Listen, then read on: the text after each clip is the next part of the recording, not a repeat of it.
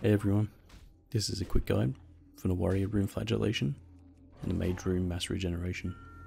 The first step in getting this rune, head over to Raven Hill and Duskwood and into the Dawning Wood Catacombs. Once you've looted the chest, head over to the other side of the catacombs. Use the phylactery and the bones, and will summon a Lich. The Lich is a level 25 elite mob, and it casts Banish.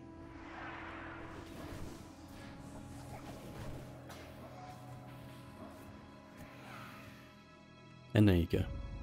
Now you have your flagellation rune, and mages have their mass regen rune. Enjoy.